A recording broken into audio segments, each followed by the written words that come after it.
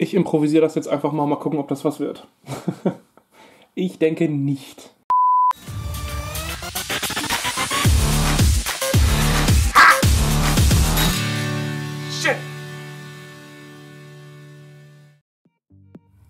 Ja, moin Leute. Wer das letzte Video bis zum Ende angesehen hat, weiß, was jetzt kommt. Es geht nämlich mit dieser kleinen Schönheit weiter. Der ewig währende Sargnagel. Im letzten Video haben wir uns um die Kontaktprobleme gekümmert. Wer das noch nicht gesehen hat, der Link zu dem Video ist in der Beschreibung. Und in diesem Video versuchen wir jetzt folgende Komponenten in dieses kleine Ding zu quetschen. Da wären zum einen der Lautsprecher. Das ist ein 9x11 mm Zimo-Lautsprecher. Dann ein Pufferkondensator. Ja, ich habe gesagt, ich will so ein Ding nicht einbauen, aber ich erkläre später nochmal, warum ich es doch tue. Diesen gibt es bei Fischer Modellbau zu kaufen. Das ist also kein gewöhnlicher Puffer-Elko, wie man sie kennt in der runden Baumfor äh, Bauform. Geht schon gut los. Sondern äh, es ist an einer. Ich müsste jetzt nachgucken, wie die heißen. Warte. So, ich hab's. Das hier sind Tantal-Kondensatoren. Dieses kleine Ding hier hat 1100 Mikrofarad. Und wer ganz grob die Größe der normalen runden Kondensatoren im Kopf hat, wird merken, dass dieses Ding für 1100 Mikrofarad ziemlich klein ist. Und last but not least der Decoder. In unserem Fall ein Locksound V4. Ich weiß, der V5 ist bereits rausgekommen, aber da muss ich mich selbst nochmal in die Programmierung einfuchsen und der hat doch einige Funktionen, die auch für mich neu sind. Und da wollte ich lieber erstmal auf was zurückgreifen, womit ich vertraut bin. Ach ja, und der war im Angebot, also ja. Das Ganze müssen wir jetzt versuchen, hier ins Führerhaus reinzubekommen. Logisch ist, dass wir die Lok dafür komplett zerlegen müssen. Und da fängt meistens der Ärger schon an. Wenn man so ein Ding noch nie auseinandergenommen hat, weiß man gerade bei diesen kleinen Loks, die doch relativ verschachtelt und kompliziert aufgebaut sind, nicht, was muss wo abmontiert werden, wie kommt man wo dran. Und dafür kann ich euch nur empfehlen, ladet euch die Explosionszeichnung der jeweiligen Lok runter, wie ich jetzt hier auf dem Handy habe. Dort kann man relativ genau sehen, welches Bauteil wohin kommt, welches wo ineinander greift. Und ihr könnt auch schon einen groben Plan machen, wo was hingebaut wird, beziehungsweise was ihr abmontieren müsst, um wohin zu kommen. Diese Datei gibt es inklusive der kompletten Ersatzteilliste bei Märklin auf der Homepage zum Runterladen. Hier auch jetzt mal grob die gesamten Modifikationen durch, die ich an diesem Teil vorhabe. Zum einen natürlich der Einbau des Sounds, logisch. Dann der Einbau des Pufferkondensators. Wie gesagt, warum ich das jetzt trotzdem mache, erkläre ich beim Einbau. Und eine besondere Lichtfunktion, nämlich das Rangierlicht. Ich blende euch jetzt hier mal ein Bild davon ein. Dieses Signalbild nennt sich FZ1 und ist im Regelfalle ein einziges Licht jeweils rechts in Fahrtrichtung. Dafür nehme ich im Kauf, dass meine Köpf kein Wechsellicht mehr hat. Jedoch ist das im Generellen sowieso sinnlos, außer man setzt diese Lok im Streckendienst ein. Im Realen müsste der Rangierer nämlich bei jedem Lichtwechsel aussteigen, wieder eine Rotlichtscheibe vorne herausbauen, hinten wieder einsetzen, wieder über mehrere Weichen fahren und das Ganze hin und her und hin und her. Zum einen ist das einfach nur unpraktisch, zum anderen waren die meisten Leute damals dafür viel zu faul. Neben dem technischen Update bekommt die Lok noch ein kleines Facelift. Denn wer sich das kleine Ding von vorne mal etwas genauer anguckt, wird feststellen, dass die komplette Kontur durch irgendwas gestört wird. Das Gesicht passt nicht zu einer typischen. Das Ding. Äh, da. Und genau das liegt an einem einzigen winzigen Detail, nämlich die Position der unteren Frontlichter. Vergleicht man diese nämlich mal mit Originalbildern, wird man feststellen, dass diese viel zu weit innen sitzen und dadurch das breite, bullige Köpfgesicht mehr oder weniger verloren geht. Auch das wird etwas sein, was ich korrigieren werde. Das hat jedoch zur Folge, dass ich keine einzige der originalen Beleuchtungselemente mehr benutzen kann und daher alles komplett selber bauen muss. Und hierzu gleich vorab noch eine Anmerkung. Dieses Video wird definitiv nicht so ins Detail gehen, beziehungsweise ich kann nicht alle Schritte zeigen, die ich mache, da manche derart fisselig und winzig sind, dass ich es einfach nicht hinbekomme, wenn ich den Camcorder vorm Gesicht habe. Ich versuche trotzdem alledem, es so detailliert wie möglich zu erklären und werde zwischen den einzelnen Schritten, die ich jetzt nicht direkt filmen kann, immer wieder Pausen machen und sagen, was genau ich getan habe. Als erstes bei so einem Lokumbau versucht man jetzt einen groben Plan zu machen, was kommt wie hin. Im ersten Schritt nehmen wir dafür mal das Dach ab. Hier sehen wir jetzt auch den ziemlich altertümlichen und klobigen Decoder, der ab jetzt glücklicherweise ausgedient hat. An den Kabelfarben können wir relativ einfach identifizieren, was wozu gehört und daher können wir die Kabel relativ knapp am Decoder abschneiden.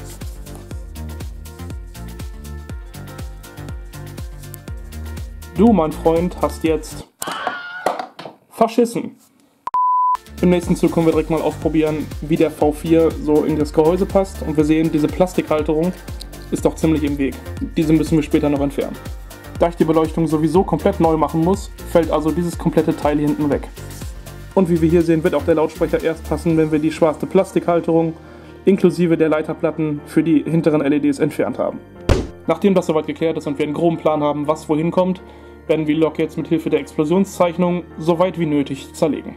Hier sehen wir jetzt auch, was ein Umbau von diesem pissgelben auf ein warmweißes Licht bei diesen alten Loks doch relativ schwierig macht. Die LEDs haben kein Epoxidgehäuse, das heißt die kleinen Kabel der LEDs liegen quasi frei. Es sind keine wirklichen Bauteile, sondern auf die Platine aufgelötete Einzelbauteile, die dann später zusammen eine LED ergeben. Also einfach die LED ablöten oder eine neue auflöten ist hier schwer bis fast unmöglich. Und nachdem das Führerhaus von den unnötigen Teilen befreit ist und einigermaßen aufgeräumt wurde, habe ich jetzt mal die erste Stellprobe gemacht und wie man sieht, Lautsprecher und der Puffer-Elko passen mehr oder weniger locker ins Führerhaus. Die offene Tür hier vorne werden wir später mit einem improvisierten Umhang abdecken, so wie es früher bei diesen Fahrzeugen üblich war. Auf der anderen Seite lasse ich mir hier ein bisschen Platz, weil dort noch eine Lokführerfigur Platz finden soll. Alles in allem muss ich sagen, es passt wirklich erschreckend gut. Hier seht ihr jetzt auch die vordere Beleuchtungsplatine. Und das ist auch wieder eine der Schwierigkeiten bei dieser kleinen Lok. Denn über diese kleinen Kontaktpunkte hier in der Mitte wird zum Beispiel der Mittelleiter weitergegeben an den Decoder. Sollte diese Platine jetzt komplett entfallen, muss man sich da eine neue Verbindung überlegen. Ich habe da aber auch schon einen groben Plan, was ich da mache. Im Motorhaubenteil des Gehäuses befinden sich jetzt hier die Kontaktplättchen für den Motor und diese kleine Platine hier, die sowohl die LED für das Spitzenlicht beherbergt, wie auch wieder diese kleinen Kontaktplättchen hat, die durch eine eingeschobene Platine dann die Verbindung nach unten zu dem unteren Spitzensignal herstellt. Diese Platine versuche ich jetzt auch komplett entfallen zu lassen. An dieser kleinen Platine hängen jetzt auch fast alle Kabel, die ins Führerhaus geführt haben. Das rote hier gehört zum Schleifer und die Farben Orange, Grau und Gelb sind jeweils Minus für das Spitzensignal und der gesamte Rückleiter Plus. Durch den Wegfall der Beleuchtungsplatine in diesem Bereich habe ich jetzt hier ein relativ großes Loch. Und ich habe auch schon eine grobe Idee, wie ich den Anschluss des Mittelleiters jetzt von hier aus durch das Gehäuse durch Richtung Decoder führe. Ich werde das Kabel nämlich verlängern und hier unten drin in diesem Loch in einer oder mehreren Schleifen legen und dann wieder hier oben an der Innenseite des Gehäuses festkleben und weiterleiten. Dadurch habe ich dann hier ein etwas längeres Kabel, das falls ich mal den Motor wechseln bzw. irgendwelche Wartungsarbeiten machen muss, ich das Gehäuse abnehmen kann, das Kabel sich also aus dieser Wickelung hier streckt, ich die Motorhaube beiseite legen kann, ohne dass das Kabel reißt oder in irgendeiner Weise gestresst wird. Ich aber trotzdem eine relativ feste und solide Verbindung habe, ohne irgendwelche Kontaktplättchen und ich auf diese kleine Platine bzw. die Platine, die hier eingesteckt wird mit diesen Kontaktlaschen, komplett verzichten kann. Und so sieht die Lok mehr oder minder komplett entkernt aus. Das erste, was ich nun angehen will, ist die Beleuchtung. Dabei klärt sich auch gleich das angesprochene Problem mit den vorderen Stirnlampen. Nun fragt man sich natürlich erstmal, warum hat Märklin das dann überhaupt so gemacht, wenn es nicht stimmt. In diese Löcher hier vorne in der Pufferbohle wurden die Lampen mehr oder weniger einfach nur eingesteckt. Genau darunter befanden sich die LEDs, die dann die Lichtleiter anstrahlten und die Lampen leuchten. Wer sich die Konstruktion jetzt etwas genauer ansieht, wird feststellen, dass der Rand hier vorne viel zu dünn ist, um dort einen Hohlraum mit LED plus Lichtleiter unterzubringen, weil dieser Werkzeugkasten hier mehr oder minder im Weg ist. Deswegen hat Märklin den Weg genommen, die Lampe etwas weiter nach innen, also quasi genau über den Puffer zu setzen, was technisch die Beleuchtung so möglich macht, aber der Lok tatsächlich ihr charakteristisches Erscheinungsbild nimmt. Denn eigentlich sitzen die Lampen mehr oder weniger mit der Außenkante bündig am Rand, also so. Der sichtbare Bereich bleibt mehr oder weniger unverändert, da auf der Rückseite eine kleine Metallplatte von hinten auf die Lampe geklebt wurde, nachdem der Lichtleiter eingeschoben wurde. Das heißt, die Lampe ist versiegelt und ich komme nicht mehr an das Innere dieser Lampe heran. Der untere Teil der Lampe, der eigentlich in die Pufferbohle gesteckt wird, hier unten so ein bisschen glänzend zu sehen, wird jetzt abgetrennt und dieser Lichtleiter, der sich in der Lampe befindet, wird ungefähr 3 bis, ja gut, 2 bis 3 mm in die Lampe hohl ausgefräst, sodass wir dort mitten in dieser Lampe hier einen Punkt haben, wo wir die LED reinkleben können. Dann endet die Lampe nämlich bündig an dieser Kante hier und ich kann sie dort aufkleben, wo sie eigentlich hingehört. Und genau das ist jetzt eine dieser Sachen, die ich schlichtweg nicht filmen kann, da ich mich äh, beim Dremeln dieser Kante doch ziemlich konzentrieren muss und ein Camcorder vor der Fresse tut da nicht so wirklich gut. Ich werde das jetzt machen und danach zeige ich euch das Endergebnis. Hier seht ihr jetzt mal die erste Lampe fertig bearbeitet, das heißt gekürzt und in der Mitte ein Loch gebohrt, in der jetzt diese 0603er LED mehr oder weniger saugend verschwindet. Was ihr auch seht, ist, dass ihr gerade bei dem Bohren des Lochs fast eine Null Fehlertoleranz habt. Das heißt, einmal abgerutscht, einmal zu groß gedremelt und ihr seid durch die Wand durch und habt ein Loch an der Laterne. Hier seht ihr jetzt die Lampen mit den fertig eingeklebten LEDs. Diese Fläche hier oben werde ich noch mit matt schwarz versiegeln, damit nichts durchleuchtet, wo es nicht durchleuchten soll. Und in der Seitenansicht sieht man jetzt, die LEDs verschwinden komplett in der winzigen Laterne und können so gerade aufgeklebt werden, ohne dass irgendwas stört. Weiter geht es jetzt mit dem Stirnlicht hier oben. Die Laterne habe ich erstmal in das Gehäuse geklebt, damit sie nicht ständig rausfällt. Die saß nämlich ziemlich locker. Auf der Unterseite sieht man jetzt hier vorne, wo der Lichtleiter der Laterne in das Gehäuse eintritt. Und genau auf diese Stirnseite des Lichtleiters kleben wir jetzt auch eine LED drauf. Und auch hier sitzt die LED nun an ihrem Platz und kann mit mattschwarz versiegelt werden. Hier unten befindet sich dieses Kunststoffteil. Dahinter können Kabel geklemmt werden, damit sie nicht auf den Motor schleifen oder den Einbau des Motors behindern. Und mit einer kleinen Pinzette können wir die Kabel jetzt schon mal hier an den Kontaktblättchen des Motors vorbei hinter diese Plastikplatte legen und hier vorne durchfädeln, damit sie an der Stelle rauskommen, wo wir sie haben wollen. Eine Sache, die ich gelernt habe, als ich mit dem Mikromodellbau angefangen habe, ist, dass wenn viele LEDs verlegt werden... Verlegt? Warum verlegt? Es wird nichts verlegt. Eine Sache, die ich gelernt habe, als ich mit dem Mikromodellbau angefangen habe, ist, dass wenn viele LEDs verbaut werden und die Kabel miteinander verdrillt werden müssen, da man sie relativ kompliziert verlegen muss, wird der Kabelsalat am Ende ziemlich schnell unübersichtlich und man hat keine Ahnung mehr, was gehört zu was. Deswegen habe ich mir angewöhnt, die Kabel an den Enden zusammenzukleben. Das heißt, Plus und Minus jeder LED werden zusammen verklebt und dann mit einem farbigen Punkt markiert. Das schreibt man dann auf eine Legende und so weiß man immer am Ende, welche Kabel gehören zu welcher LED und man kann korrekt verkabeln und hat am Ende keine böse Überraschung. Die vordere Beleuchtung ist jetzt soweit vorbereitet und jetzt kümmern wir uns um die der Hinterseite. Dafür habe ich als allererstes mal die LEDs genommen, die Kabel zusammengedrillt und schwarz angemalt. Bei der Rückseite gibt es nun auch ein oder zwei Sachen, die wir beachten müssen. Zum einen sind hier im Gehäuse auf der Rückseite zwei Löcher, aber die sind zu klein. Das bedeutet, die LEDs passen nicht in das Loch und müssen davor gesetzt werden. Das Gehäuse besteht aber aus Metall, das heißt, wir müssen beim Verkleben unheimlich aufpassen, dass die Plus-Minus-Kontakte nicht auf das Metall treffen und wir dadurch in der LED einen Kurzschluss bekommen. Zum anderen sitzen die LEDs direkt hinter den Lichtleitern. Das bedeutet, würden wir jetzt nichts unternehmen und würden die LED einfach stumpf hier hinterkleben, würde der Lichtleiter einen leicht gelblichen Schein haben, bedingt durch den Streukörper der LED. Um das zu vermeiden, habe ich die Lichtleiter von hinten hauchdünn mit einem matten Weiß angemalt. Somit scheinen diese immer nur in einem leichten Weiß und das Gelb des Streukörpers der LED hat keine Chance durchzuleuchten. Zum anderen sieht es auch deutlich realistischer aus, denn die Originallampen haben weiße Reflexionskörper und ich, viele Marken kriegen das hin, Märklin irgendwie noch nicht so ganz. Jetzt geht es ans Einkleben der LEDs. Um diese optimal positionieren zu können, habe ich sie mit einem Stück Kreppband fixiert und kann sie jetzt mit einer Pinzette ganz vorsichtig in ihre Endposition in das Loch im Gehäuse drücken, sodass sie perfekt mittig hinter der Lampe sitzen. Ein Tropfen Sekundenkleber erledigt dann den Rest. Zum guten Schluss sollte das Ganze in etwa so aussehen. Die Kabel habe ich schön im 90 Grad Winkel um die Fenster gelegt und oben nochmal mit einem Tropfen Sekundenkleber fixiert. Die schwarze Farbe hat leider nicht so gut gehalten, aber wir müssen diese Bereiche hinter den LEDs sowieso nochmal mit mattem Schwarz einmalen, damit auch dort kein Licht austreten kann und dann ist es mehr oder weniger unvermeidlich, die Innenseite nochmal neu mit Grau einzustreichen. Also prinzipiell könnt ihr den Schritt äh, des schwarzen Anmals der Kabel auch weglassen. Schön ist jetzt auch zu sehen, dass obwohl die knallgelben LEDs direkt hinter den Lichtleitern sitzen, die Lampen selbst immer noch rein weiß erscheinen. Der nächste Arbeitsschritt ist wieder einer von denen, wo die Kamera mehr stört, als wie sie mir hilft. Von daher habe ich sie beiseite gestellt und nun die erste Lampe auf das Gehäuse geklebt. Zuallererst habe ich die Kabel hier durch das Loch geführt und die Lampe dann mit Sekundenkleber aufgeklebt. Die Lampe wurde so geklebt, dass sie in etwa 1 mm Platz zur Seitenwand und mit der Vorderkante mehr oder weniger bündig aufsitzt. Diese Lampenposition kommt dem Original schon deutlich näher. Ich werde jetzt noch die zweite Lampe aufkleben, danach werde ich die noch komplett zusammensetzen und es wird sofort der, der, der, der drastische Veränderung. Jo, Deutsch kann ich immer noch nicht. Es wird sofort die drastische Veränderung der Optik des kompletten Frontbereichs erkennbar sein. So, nun ist auch die zweite Lampe aufgeklebt und die Lok ist mal bis auf das Dach komplett zusammengesetzt worden. Und nun ist der drastische Unterschied deutlich erkennbar.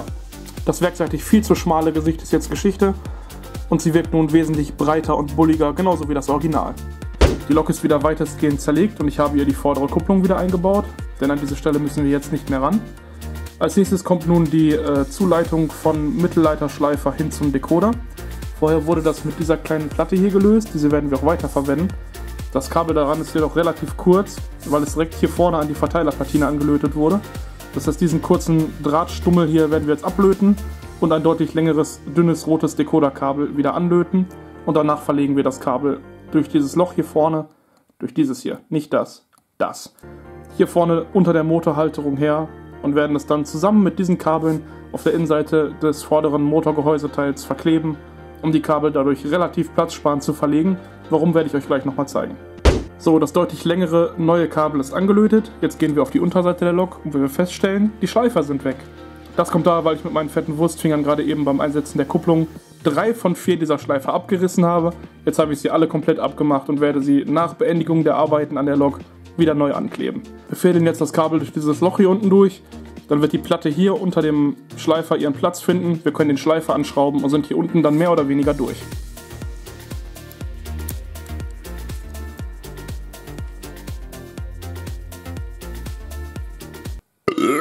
Boah. Auf der Oberseite sieht man jetzt, habe ich das Kabel hier mit einem leichten Knick relativ eng versucht, um diese Kontur hier drum zu legen. Genau so. Warum zeige ich euch jetzt? Setzen wir jetzt nämlich mal den Motor an seine Position, wenn wir feststellen, dass der Platz hier unten drunter sehr, sehr beengt ist. Da haben wir also nur wenige Millimeter, wo wir das Kabel quetschungsfrei durchführen können und das muss auch wirklich passen. Des Weiteren sehen wir jetzt die doch relativ beschissenen Platzverhältnisse hier im vorderen Bereich. Da war vorher nur eine 2 mm dicke Leiterplatine, das passte dann natürlich locker. Aber mit unseren ganzen Kabeln und Drähten jetzt wird das, wenn wir das Gehäuse hier drüber halten, grob wie es sitzt, doch ziemlich eng, wie man sieht. Also da muss man aufpassen, dass keine Kabel oder Drähte an dem Gewicht des Motors herumschleifen und hinterher einen Kurzschluss erzeugen. Um genau das möglichst zu vermeiden, werden wir die Kabel jetzt mit einem etwas größeren Überhang nach unten auf die Vorderseite des Motorgehäuses kleben und dann relativ platzsparend hier oben links und rechts entlang führen, sodass wir hier vorne in diesem Bereich so wenig Platz wie möglich in Anspruch nehmen. Als ersten Schritt dazu habe ich jetzt die kleinen, dünnen und doch relativ fragilen Kupferlackdrähte um das rote Kabel drumherum gewickelt, um die ganze Sache ein bisschen zu schützen. Hier sind die Kabel nun im Motorraumbereich fertig verlegt und ihr seht, ich habe mich immer relativ nah an den Wänden und an den Konturen orientiert und es ist alles ziemlich eng hier oben, aber so habe ich jetzt den optimalen Platz ausgenutzt. Der Motor hat noch genug Raum, um hier Platz zu finden. Keine Kabel werden eingeklemmt, gequetscht oder irgendwie von drehenden Teilen aufgerubbelt. Mit dem Einsetzen des Motors und der vorderen Motorhaube ist der Umbau in diesem Bereich nun vollständig abgeschlossen Jetzt kümmern wir uns um das Führerhaus, um die Anschlüsse, die an diesem Führerhaus dran sind. Das hier ist die Platine der hinteren Stirnbeleuchtung. Und wenn wir uns die einmal etwas genauer ansehen, gerade auf der Rückseite ist, erkennt man das ziemlich gut. Sieht man hier, dass zum einen das Massekabel für die komplette Lok von dieser Platine abgeht. Und an diesen beiden Verschraubungen hier erkennt man ganz, ganz deutlich so kleine Messingringe. Das sind die Kontaktflächen der Platine hier drin und diese greifen in diese zwei Gewinde hier ein. Das bedeutet, die komplette Lok hat sich über das Gehäuse ihre Masse geholt. Das Problem ist, wir wollen diese Platine nicht mehr verwenden, da wir die LEDs nun direkt hinter die Lampen geklebt haben. Also müssen wir in diese Gewinde die Schrauben mit ein bisschen äh, Decoderlitze ins Gewinde gewickelt einschrauben. Das mache ich auf beiden Seiten, damit ich einen sicheren Kontakt habe. Und wir wieder über das Gehäuse die Lokmasse abgreifen können. So sieht nun die erste Masseabnahmestelle aus. Ich habe es aber ein bisschen anders gemacht und wie genau werde ich euch jetzt nochmal zeigen. Das ähm, Decoderlitze ins Gewinde reindrücken und einschrauben hat nämlich bei dieser kleinen Schraubengröße nicht mehr so ganz so gut funktioniert. Ich nehme jetzt einen Schraubenzieher, der in der Schaftdicke ungefähr entsprechend dem Gewinde der Schraube ist, ein bisschen größer. Und dann nehme ich mir äh, Decoderlitze und isoliere ungefähr 2,5 cm davon ab. Und diese Litze fange ich jetzt an, um den Schaft des Schraubendrehers zu wickeln.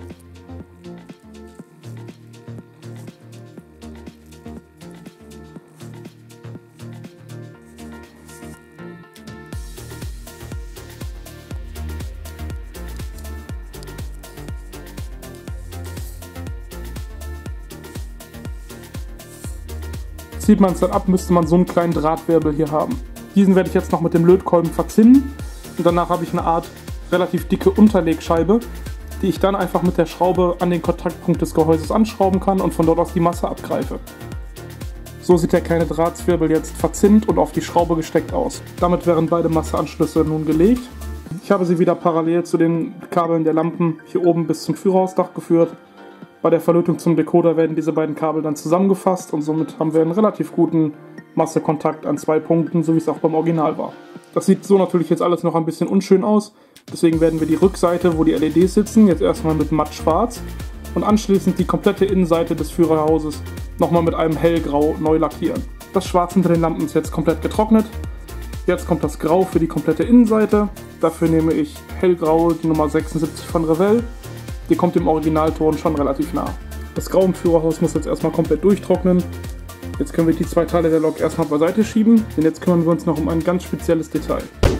Da die Köffer einen ziemlich großen und geöffneten Führerstand hat, sowie auch ziemlich viele Fenster, kann man, wenn man nichts macht, im eingebauten Zustand später direkt auf die Elektronik gucken, was dem äh, realistischen Eindruck der Lok natürlich einen ziemlichen Abbruch gibt. Um das zu vermeiden, habe ich eine relativ einfache Lösung, ein bisschen fummelig, aber sollte im Endeffekt ganz gut aussehen. Bei vielen Originalbildern erkennt man nämlich, dass die Köpfs an den Seiten der Eingangstüren solche Vorhänge haben. Diese sind meistens aus einem dunkelbeigen Stoff, wobei sie nach einigen Einsatzjahren nicht mehr dunkelbeige waren. Ich meine, die werden nicht oft gewaschen, also habe ich zumindest noch nie gesehen. Um genau diese Vorhänge vernünftig darzustellen, brauchen wir zum einen ein Blatt Papier, was die richtige Länge hat. Also die Breite ist die Länge, die wir später benötigen, um die komplette Tür des Führerhauses abzudecken. Dann brauchen wir zwei Stücke Draht, ungefähr 1 mm dick. Und das Wichtigste ist, wir brauchen viel, viel Geduld. Denn jetzt werden wir dieses Stück Papier hier mit diesen zwei Drähten raffen. Das geht wie folgt. Wir nehmen uns den ersten Draht, legen ihn oben drauf und biegen die erste Kante um den Draht herum. Jetzt müsste ja beim Raffen der Gegenradius von der anderen Seite kommen. Das heißt, wir schieben den nächsten Draht hier unten drunter, halten die zwei Drähte relativ feste und dicht aneinander und biegen das Papier nun in die andere Richtung. Haben wir das, ziehen wir den ersten Draht wieder raus, legen ihn wieder oben auf, drücken wieder beide Drähte in den Radius hinein und biegen das Papier wieder nach oben. Und das geht jetzt die ganze Zeit so weiter, bis dieses Stück Papier gerafft ist.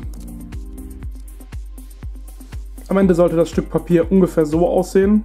Es muss jetzt nicht hundertprozentig gleichmäßig sein. Wie gesagt, so ein Vorhang, wenn der einfach aufgehängt ist, der fällt ja auch nicht immer gleichmäßig. Und äh, dieses Papier ist natürlich jetzt noch sehr weich. Wenn man hier drauf drückt, dann gehen diese einzelnen gerafften Wellen wieder raus. Um das ein bisschen zu stabilisieren, dass wir es auch hinterher vernünftig bemalen und ankleben können, werde ich das jetzt mit äh, Weißleim bestreichen, ganz dünn, damit äh, es einfach ein bisschen härter wird, ein bisschen festere Struktur kriegt und man damit besser arbeiten kann. Der Weißleim ist nun getrocknet und das geraffte Papier ist nun relativ stabil, sodass wir es ganz gut weiterverarbeiten können. Ich habe hier für die andere Seite, wo später die Lokführerfigur hinkommt, dasselbe nochmal gemacht, habe dann aber das Geraffte mit so einem kleinen Stück Kupferlackdraht hier zusammengebunden, um einen äh, geöffneten Vorhang zu simulieren. Hier an dieser Stelle wird dann später die Lokführerfigur sich aus dem Fenster rauslehnen und äh, ich denke, lackiert sieht das später ganz gut aus. Apropos Lackieren, für die Farbe der Vorhänge habe ich mir jetzt hier wieder so ein relativ dreckiges Beige zusammengemischt und damit werden die Vorhänge jetzt beidseitig bemalt. Durch den vorher aufgebrachten Weißleim gelingt das eigentlich relativ gut. So, die Vorhänge sind jetzt fertig lackiert und wir können jetzt anfangen, sie in das Führerhaus einzupassen. Dafür lege ich mir nun das Gehäuse mit der Seite, wo der Vorhang hin will, nach oben vor den Tisch, vor den Tisch, auf den Tisch, vor die Kamera. Äh, lege sie so auf, dass sie mit genau den Stellen, wo ich sie später haben will, auf dem Gehäuse aufliegt und markiere mir nun die Außenkanten mit einem Kugelschreiber oder ähnlichem, damit ich genau weiß, in welcher Breite ich den Vorhang nun ausschneiden muss.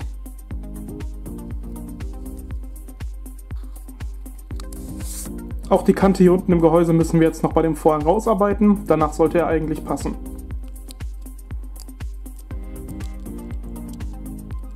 So ist jetzt die vorläufige Passform. Wir sehen, der Vorhang fällt relativ schön hinter der Tür und dem Fenster ab. Ich denke, so können wir das lassen und ihn nun jetzt mit ein, ein zwei Tropfen Sekundenkleber im Gehäuse fixieren. Alle Vorhänge sind nun eingeklebt und ich finde, das Endergebnis sieht tatsächlich gar nicht so schlecht aus. Hier unten habe ich mit einer sehr dünnen Schere den Vorhang noch ein bisschen ausfransen lassen. Wie gesagt, äh, im, der Zahn der Zeit hätte er gerade an solchen Dingen immer sehr gerne genagt. Auch am Seitenfenster hier hinten habe ich einen kleinen Vorhang reingelegt, einfach damit man nicht so direkt auf den Puffer gucken kann, der später in dieser Ecke hier Platz finden wird.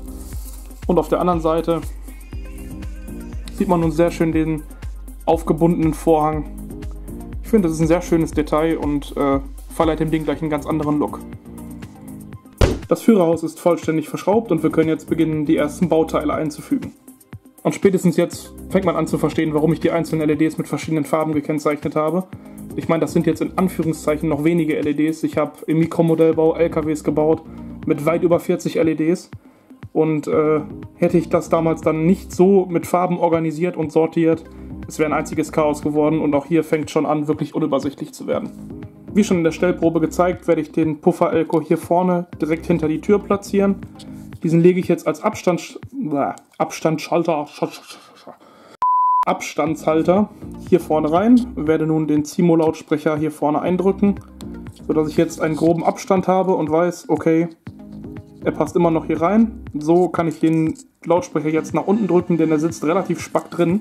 Ich denke mal, drücke ich ihn jetzt einmal bis nach unten hin rein, dann wird er sitzen. Klack. So, der Lautsprecher sitzt drin und der Puffer-Elko passt immer noch ohne Probleme hier hinter die Tür. Es ging mir jetzt nur um den Abstand, logisch, dass das von der Höhe natürlich nicht wirklich passt. Der eigentliche Einbauzustand des Elkos ist so liegend, natürlich jetzt nach unten gedrückt. Bevor ich das aber mache, werde ich den Lautsprecher erstmal hier an den Seiten mit ein bisschen Sekundenkleber fixieren. Der Lautsprecher ist verklebt und auch der Puffer-Elko hat nun seinen endgültigen Platz gefunden. Bis jetzt habe ich eigentlich jeden Millimeter ausgenutzt. Was jetzt noch fehlt, bevor wir den Decoder hier oben längs aufkleben und damit quasi den Deckel schließen, ist die Figur des Lokführers. So, hat mich ein bisschen Zeit und einige Nerven gekostet, bis der Kollege genug abgenommen hatte, um da reinzupassen. Aber er sitzt. Und sieht ganz gut aus. Das einzige, was jetzt noch fehlt, ist mit das Entscheidendste, nämlich der Decoder. Dieser wird jetzt hier oben längs seinen Platz finden wie man sieht, habe ich hier vorne dann noch etwas Luft für die Widerstände der einzelnen Lichtfunktionen und sollte damit eigentlich alles in dieses kleine Teil reingequetscht bekommen. Er sitzt. Es passt wirklich nur auf den letzten Millimeter, aber er sitzt. Jetzt ist es im Prinzip nur noch das komplette Verkabeln der Lok und dann ist das Thema Hardware eigentlich soweit durch. Das Verkabeln werde ich jetzt wieder ohne die Kamera machen, ganz mit Ruhe, da es wirklich ziemlich fummelig ist und ich alle Widerstände und Verbindungen irgendwie in diesen Bereich hier reinquetschen muss. Äh, ist das alles erledigt, werde ich mich nochmal bei euch melden und euch das Endergebnis zeigen und euch auch erklären, was ich wie wo verkabelt habe. Puh, so Leute, es ist jetzt ungefähr eine Stunde her, wo ich die Aufnahme beendet habe, wo ich gesagt habe, ich fange jetzt an zu verkabeln. Es ist alles drin. Ich habe soweit geschafft, tatsächlich alles reinzubekommen. Der Decoder liegt jetzt hier oben alle Widerstände sind jetzt hier oben in dieser Lücke quasi eingeschoben. Und äh, es hat tatsächlich alles gerade so gepasst. Das Dach geht nicht komplett drauf. Das liegt an diesen beiden Ecken von dem Decoder. Da liegt das Dach auf, ähm, weil es dort eine Verdickung hat. Das werde ich jetzt noch ein bisschen abschleifen und danach wird das Dach auch drauf gehen und passen. Was genau habe ich jetzt gemacht? Also ich habe logischerweise Motoranschlüsse, klar wie äh, beschrieben, an den Decoder angelötet. Das Besondere sind in diesem Fall die Lichtausgänge. Ich habe nämlich diese beiden Lampen, das heißt das obere Spitzensignal, sowie dieses hier, als auch auf, genauso auf der anderen Seite das obere und das linke jeweils an die normalen Lichtanschlüsse gemacht. Und dieses hier und dieses hier vorne liegen jeweils auf einem Funktionsausgang. Das bedeutet, ich kann hinterher ein normales Spitzensignal schalten, als wie auch FZ1, also jeweils Fahrtrichtung rechts ein einzelnes. Ich habe der Curve explizit keine Telex-Kupplung verpasst. Würde Sinn machen, weil Rangierlok, aber die auf dem Markt erhältlichen Telex-Kupplungen sehen alle an diesen kleinen Loks dermaßen klobig aus. Das wollte ich einfach nicht machen. Es sieht nicht aus. Ihr könnt es euch gerne bei der Märklin Curve mit Telex anschauen. Ich finde es fürchterlich. Deswegen habe ich das explizit nicht gemacht. Ein Kabel ist noch nicht angelötet, das ist dieses hier. Das ist das ähm, Massekabel von dem Elko. Das werde ich erst anlöten, wenn ich die Lok komplett fertig programmiert habe. Da äh, Elko-Kondensatoren gerade beim Aufspielen der Sounddateien doch schon mal äh, Fehler hervorrufen können. Deswegen liegt das hier einfach lose drin. Und äh, ich werde die Lok komplett, also alles aufspielen, äh, alle Sounds aufspielen, alle ähm, Programmierarbeiten erledigen. Und erst dann wird dieses Dekabel an das Lötpad, Lötpad an äh, dem Decoder festgelötet und äh, damit wäre das Projekt dann beendet, soweit zumindest von der Hardware.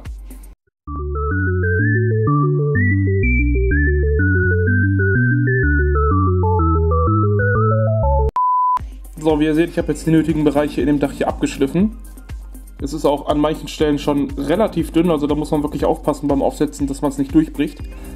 Tatsächlich hat das hier nicht gereicht, dass das Dach aufging. Der Decoder lag immer noch an Ecken auf beziehungsweise das Dach ging drauf. Das Problem war aber, dass der Decoder dann auf die Oberseite des Lautsprechers gedrückt hat, was dem Sound von dem Ding jetzt nicht wirklich gut tat. Deswegen habe ich den Lautsprecher nochmal ausgebaut und hier unten eine kleine Ecke rausgenommen. Ich habe die rausgeschnitten und mit Polystyrolstreifen wieder gefüllt und den Lautsprecher komplett abgedichtet. Jetzt ähm, liegt der Lautsprecher in dieser kleinen Kante, der unten in dem Führerstand ist, auf. liegt jetzt um diese 2 bis 3 mm tiefer als vorher. Und jetzt passt es. Ich werde den jetzt nochmal einbauen und dann zeige ich euch nochmal genau, äh, warum diese Ecke da drin ist. Ihr werdet dann sehen, was ich meine. So, alles ist wieder drin und jetzt passt es tatsächlich.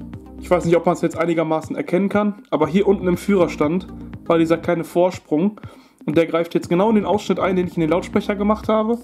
Dadurch kam der gesamte Lautsprecher diese 3 mm weiter nach unten und alles hat gepasst. Diese Platten hier an der Seite sind Polystyrolstreifen, die habe ich an die Lautsprecher angeklebt. Die schauen ungefähr 2 mm über die Lautsprecherkante hinaus und darauf liegt jetzt der Decoder auf, sodass der Decoder nicht mehr auf die Oberseite des Lautsprechers drücken kann und dadurch den Sound beeinträchtigt. Vorne in der Pufferbohle sind jetzt noch die Löcher zu sehen, in denen früher die Laternen saßen. Die werde ich dann im übernächsten Video verschließen, wenn ich mich sowieso nochmal um die Optik von dieser Lok kümmere. Der Decoder und Elektrikeinbau, um den es in diesem Video geht, ist jetzt aber abgeschlossen. Und ich bin tatsächlich ein bisschen stolz, dass ich es geschafft habe, alles so unterzubringen, dass das sichtbare Drittel des Führerhauses komplett von Elektronik befreit geblieben ist. Jetzt möchte man natürlich auch durchtesten, um zu schauen, funktioniert der Lautsprecher, funktionieren alle Funktionsausgänge. Und da gibt es jetzt eine Sache, die wir definitiv beachten müssen. Bevor wir bei dieser Lok auch nur ein einziges Mal den Sound einschalten, müssen wir nämlich eine Sache programmieren. ESO Sounddecoder sind von Werk ab ziemlich laut eingestellt und die Zimo-Lautsprecher sind, was das angeht, auch extrem empfindlich. Würden wir also mit der Werkseinstellung den Sound einschalten, würden wir höchstwahrscheinlich den Lautsprecher überlasten und ihn killen. Um genau das zu vermeiden, machen wir jetzt folgendes. Wir nehmen die Lok und setzen sie auf ein gerades und sauberes Stück Gleis. Im nächsten Schritt wählen wir nun das Modell an und drücken jetzt zumindest hier bei der American Mobile Station auf Bearbeiten und gehen auf CV programmieren. Jetzt können wir die CV-Adresse eingeben und die CV-Adresse für die Gesamtlautstärke ist 63. Die geben wir nun ein. Die Lok wird gelesen und wie ihr seht, ich habe mittlerweile schon den CV-Wert auf 37 runtergeschraubt. Im Originalen ist er bei 192. Das würde definitiv unseren Lautsprecher sprengen. 37 empfand ich als okay, als angenehm. Zum Programmieren reicht das völlig aus. Diesen Wert programmieren wir jetzt in die, diese CV rein. Und jetzt können wir auch ruhig mal den Sound ausprobieren und schauen, ob alles klappt.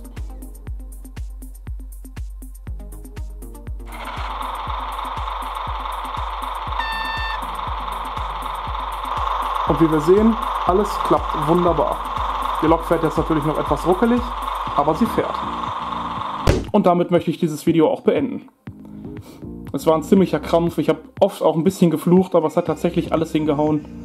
Im nächsten Video geht es dann um die Programmierung, das heißt das Aufspielen des Sounds, wie wir die einzelnen Soundslots, am Anfang, am, am Anfang und am Ende muss ich mich einfach einmal verlabern, das gehört dazu. Wie wir die einzelnen Soundslots den Funktionen zuordnen, die Funktionsausgänge selber, wie wir die äh, definieren, wie wir sie mappen, all das werden wir im nächsten Video machen. Für dieses Video war es das, ich bedanke mich natürlich wie immer fürs Zuschauen. In diesem Sinne sage ich bis zum nächsten Mal.